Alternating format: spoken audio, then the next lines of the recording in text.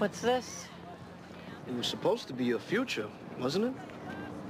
I found it in Felix's shop locker.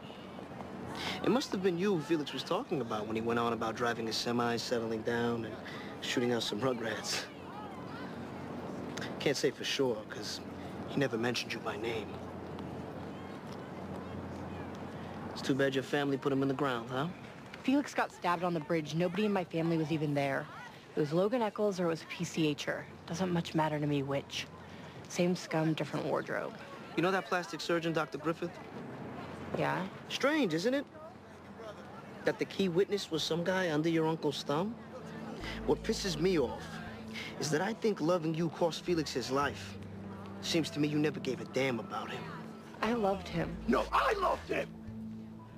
And you know how you can tell? Because I'm the one who cares enough to keep trying to find out who killed him.